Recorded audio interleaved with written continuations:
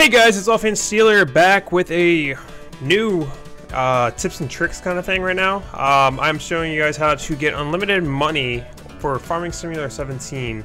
I already did a little glitch here, but I'm gonna go ahead and show you on a new save. That way you guys know it's real and uh, can figure it out yourself.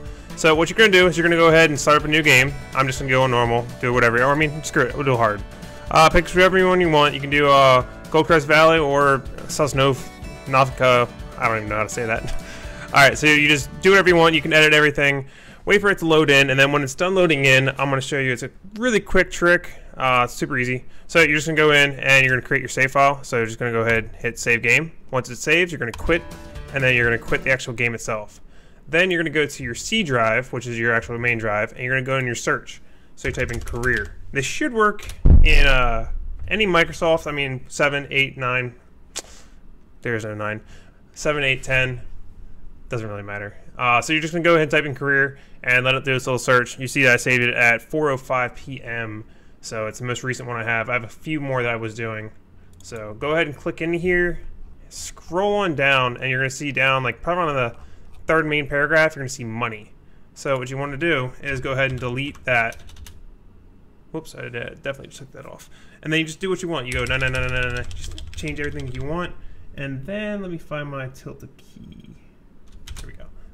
Like that. That's all you gotta do. And then all you have to do is file save.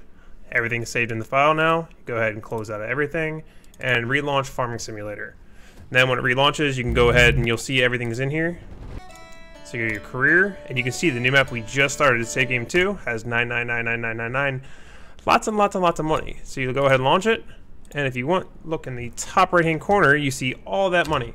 So you can go here, and I don't actually have not played on this map yet, so I don't know where the store's at. Uh, do, do, do, do, do, do, do. You guys see a store? I certainly don't. Probably blind. Here it is. All right, so you can go ahead and visit the store, and let me turn my sensitivity up a little bit. Run inside real quick, and you can buy whatever you want. So you go over, and we're gonna go ahead and buy this. And you can see outside we have our, our harvester. Anyway, so I hope you guys enjoyed that. If you guys did, um, and have any recommendations for anything else you'd like to see, I'm very good at learning this kind of stuff, and I can figure it out and let you guys know what to do.